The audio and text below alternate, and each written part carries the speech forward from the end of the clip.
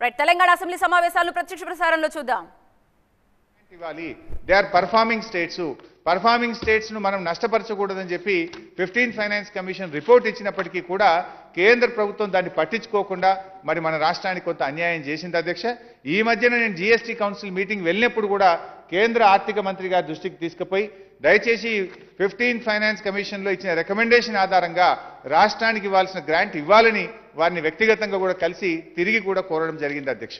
Thank you అధ్యక్ష. Number double seven three, Minister for Education. అధ్యక్ష ఏ ప్రశ్నకు సమాధానం?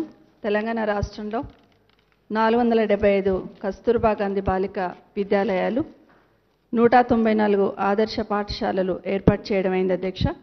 జిల్లాల వారి వివరాలు